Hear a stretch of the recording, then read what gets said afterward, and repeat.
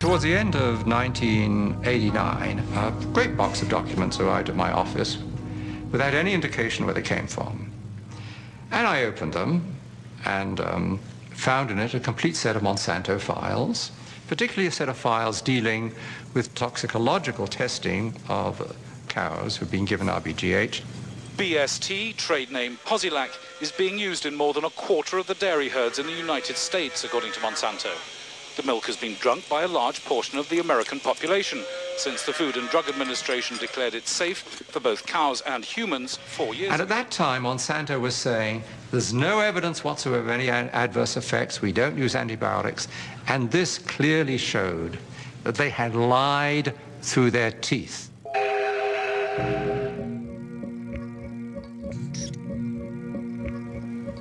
The files described areas of chronic inflammation in the heart, lung, kidney, spleen, also reproductive effects, also a whole series of other problems. The most comprehensive independent assessment of the drug concludes that BST results in unnecessary pain, suffering and distress for the cows. This is not acceptable for a drug designed simply to increase milk production. It is a silly product we have a, the industrial world is awash in milk. We're overproducing milk.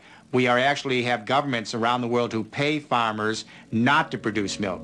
So the first product Monsanto comes up with is a product that produces more of what we don't need.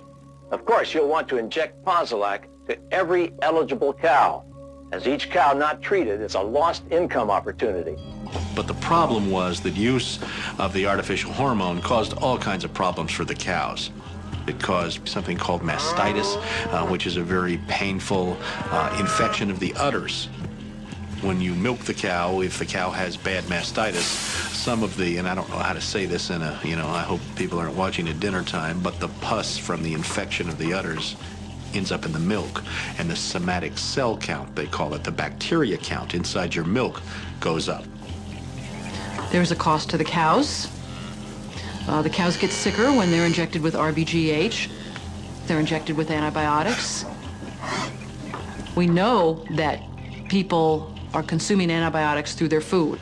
And we know that that's contributing to antibiotic-resistant bacteria and diseases. And we know we're at a crisis when somebody can go into a hospital and get a staph infection and it can't be cured and they die. That's a crisis. Bad for the cow, bad for the farmer, bad potentially for the consumer. The jury is out. We see a lot of conflicting evidence about potential health risks.